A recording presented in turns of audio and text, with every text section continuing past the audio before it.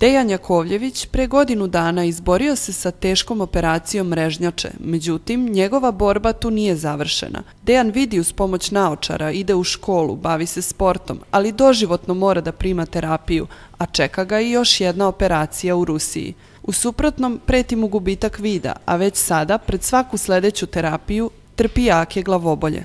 Znači on svakih četiri meseca treba da plati po 600 evra, to je znači godišnje 2400, plus treba će mu za put za Rusiju, smeštaj, i hranu za njega i za majku i za operaciju. To jest za snimanje i diagnostiku.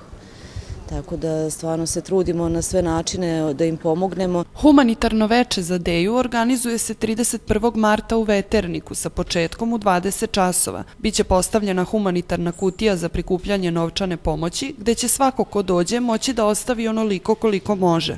Ovim putem opet pozvala bi ljude u petak da dođu u Veternik da nas podrže. Biće apsolutno romantično, e, Zlatko Griva i stand-up komičari iz Novog Sada. Roditelji su se do sada snalazili kako su znali i umeli, ali su sada u velikom problemu i mole sve ljude dobre volje da im pomognu da sakupe novac za dalje lečenje. Svi građani koji nisu u mogućnosti da prisustvuju humanitarnom koncertu, a žele da daju prilog, isti mogu da uplate na račun Dejana Jakovljevića.